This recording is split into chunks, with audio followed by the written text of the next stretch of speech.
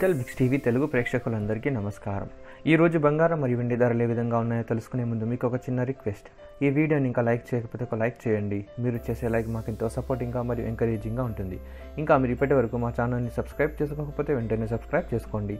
అలా చేసినట్లయితే మేము చేసే ప్రతి వీడియోకు నోటిఫికేషన్ మీకు వస్తుంది. అందువల్ల మీరు మా వీడియోని మిస్ అవ్వకుండా చూడవచ్చు.